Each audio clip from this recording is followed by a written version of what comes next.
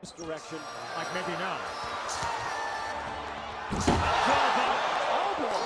With the first pick in the 2009 NBA draft, the Los Angeles Clippers select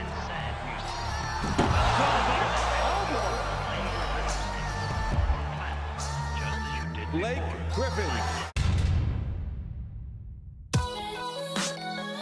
We can fight our desires.